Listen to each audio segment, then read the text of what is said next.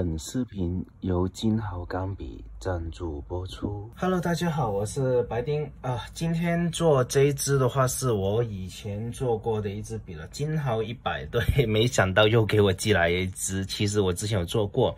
那当然，这次这次这一次的话，第一件事是，当时金豪一百好像我就买了跟我那支派克一样的，然后最后的一个结果是两两边的尖的话，感觉都是一般般，不太就是特特别粗，两个两只都是特别粗。我拍克那只。还是 EF 的，然后反正就是没多久，然后两只都出了。那这一次的这个新的一百，然后值得去我再去看一下是怎么样的一个情况，然后来试一下。那首先的这个。尺寸上来讲的话，它肯定不会像之前的，比如说啊，比八零五再长一点。然后尺寸上来讲，肯定是能跟那个原版本的兼容的。但是我那只的话，自己就是已经是，呃，出掉了。因为当时的那个买回来的时候，就是真的是有点失望了买回来。然后这一次的，反正就是。呃，笔尖的话就是跟白金的这支呃一样的，反正就总统尖一样嘛。然后在三十二号尖左右，然后派克那支我记得也反正也是差不多嘛，尺寸这些都能共用的，反正这一点是我比较确定的。那我相信他也不会去改，因为。后来听说，就是凯格路做完视频后，凯格路那边的话也是把那个尺寸就东东西的一个零件的通用性，然后也改到跟那个金豪这支一样的。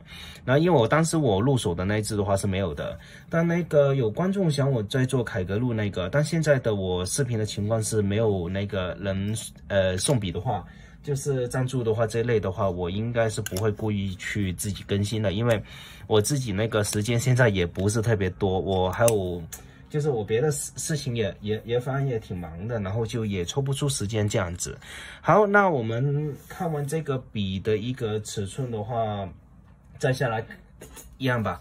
虽然说那个这次上上次已经做过这个了，但我觉得这次我们还是要再做一下的。来，一百三十八点五五左右的一个。总长度再下来了是，哦，看一下啊，一百二十七的拔帽长度。那这些我会尽量快一点给它带过。那就所以说这次的视频也是会比较短一点。那重量上来讲的话，我们来看一下啊。那先盖帽看一下重量是多少，二十七点二，那也是差不多的一个重量，然后再下来。十五点五的一个重量，那重量上来讲也是中规中矩了，因为呃，我认为就是超过三十算重，低十到十二左右的算轻。那这一支反正也是一样中规中矩的一个笔，然后再下来看一下，主要想看一下它这次的一个笔尖上面呢，呃，笔笔杆我看完键我再来讲啊，呃，首首先来看一下这个笔的一个笔尖，还是一样跟那个前面的那只，呃。那只什么什么东西啊？好像是九零五六吗？还是九零三五？呃，反正跟那一只的一个木的那只钢笔是应该是同一个尖的啊，或者我拿拿来看一下吧。这一只这一只好像是啊，应该是一样的，两只都是 F。好，那还是让，我照样给你们拍一下这个笔尖。但写感上面来讲，我觉得已经解解除了我的困惑了啊，提早就知道答案了。这这。可惜这视频还没拍完呢，这尴尬了有点。好，还是一样的，前面一个屁股尖的一个打磨，然后这边的话也是一样，圆头比较不容易刮的，应该也不知道能不能出口啊？毕竟这个是有那个剑标在上面的。因为我之前那一只的话就是不是剑标的嘛，大家如果有印象，我记得是球就。球小球的，好像是小球的那样子嘛。这次换了这个剑标的话，但它这个剑标一样的都是有改进的。你看，就不是那种叔叔的那种，就不是那种就英雄的那种那那样一个剑标了。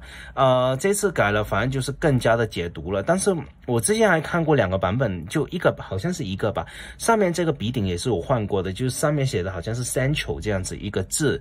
然后这里的话，我忘记有没有去写什么了，这个就想不起来了。但这一次。次的话比较开心的是拿到一支黄色的，今年不知道怎么回事的。其实我有换了手机，然后手机刚好也是黄色的，然后刚好给我送了一个黄色的笔啊，可能今年黄色对我比较友好啊。然后另外说一下，我最讨厌的是红色啊，所以你看我很少红，就基本上是没有红色的笔。那然后不扯那么多，那首先这个黄色的话，嗯，笔顶那跟之前一样，但是 Central 的那个版本不知道是怎么回事啊。然后这个笔夹也换了一个剑标，反正就比起本身那个金豪，那肯定更好看了。笔尖的话。呃，其实已经知道结果了。那等会我想办法跟你们去对比一下。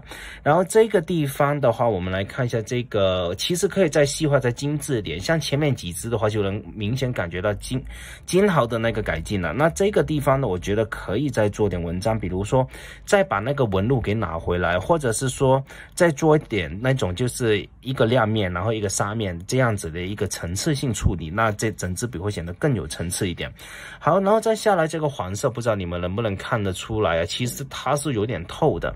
如果能做成不透的那个黄色，就是你们懂的。我讲哪一只？就是那个派克的哪一只？你懂的。就是能更接近，那就更好了。然后呃，美中不足的一个地方的话，我更贪心一点。其实我更想还是有那个你懂的那个雕花。我之前那就那个雕花，其实在这个位置还是有点毒的，因为平常刻字都是在这个地方的。然后它那个雕花，而且还是有深度的一个雕花。那如果这些地方的话都能给它还原回去哇，那这支笔就非常非常的棒了，我觉得，因为其实它很多地方已经很能解读了一支笔了。那你说我再给它多一点，那其实真的是算是很贪心了，因为它没有别的什么大问题，就差那个笔尖。那这一次其实，呃，笔尖的其实答案，我觉得。也也知道了，其实，但是我还是例行公事的给试一下吧。那总体来讲，这支笔的话，改进呢，就是说更多的往实用性那边来改进了。那像样子那些的话，毕竟就是各花有各眼了，那也不可能说啊，一定要按我这样子，因为毕竟每个人喜欢的都不一样。像那个像我这种就是颜控为主的，那实用性其实对我来说个人。并不是很重要。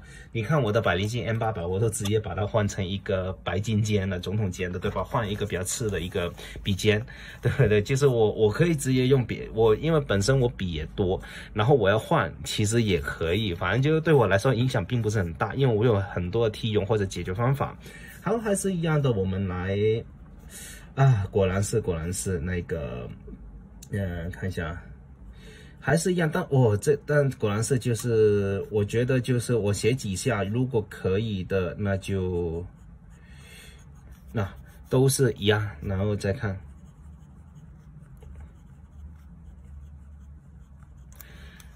好，能看到吗？完全一样了，那还是。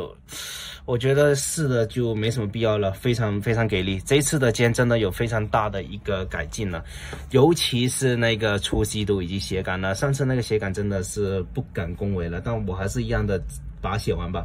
呃，因为不不一定每个观众都有看那个就是呃九零五六的那个视频了，对吧？然后这几个月不见了，然后我的字还是一如既往的丑，然后我还是一样吧，压下肩，然后这样。哦，那个视频我忘了一个东西，仿写啊！你看哦，这一次这个仿这一次的仿写，这个这一次这个肩好给力啊！这个金豪的这个。我真的没想到一个观众要求的东西，然后金浩也能那个就是也能注意到，然后把这个东西给改了。其实这个真的是很过分的，要反着倒倒写。其实正常是谁会倒写了，对不对？然后他这个真的能三百六十度书写了，那金浩这次真的完全给他点赞啊！非常感谢这一次的这个厂商呢，送了几支笔，说实话就都很有心思，而且，嗯。怎么讲呢？我呃，品控上面来讲也是非常非常的给力了。就是如果是说，呃，不一定每个人有。有买万宝龙，但是有玩钢笔的人肯定都会有买过一支金豪，然后我只能这么去讲了，对不对？好，那大概都没什么大问题，那非常接近现代笔的一个习惯，然后再下来可能可我个人更多的是一个外观要求了，笔尖上来讲真的没有什么太大要求了，真的是都非常给力。你看两支笔这样子一对比，你看品控非常的 OK，没有什么大问题，不会说啊我这支粗这支细啊没有这个情况在。好，那这次的一个这支金豪的笔，说实话比平常短一半了，因为真的人讲的不多，而且人都好像就前面的那那一支笔也有做过这样子的尖了，而且它这个尖真的就是好的尖，真的一个就够了。你几支笔然后换不同的杆子，你照样给我这个尖，我也不介意。然后其实因为。钢笔嘛，玩尖的其实现代来讲的话没那么主要，我觉得更多的就是玩感、玩尖上面的雕花这类，就是颜值上的东西比较多。然后整支笔还是一样，就是这次讲的几个问题嘛。首先就是这个地方的层次性处理，然后就是上面这个雕纹，然后另外一个就是笔没那么的透，那就非常的漂亮了。虽然说现在也很给力。好，那有什么我漏讲了，麻烦帮我补充一下。另外一个就是，嗯。要加群的，我的群已经关掉了。然后就是，啊，我会把你拉到一个另外一个 B 站的 UP 主群。那有需要的，麻烦加一下我微信。那我们多多交流，下次见，拜拜。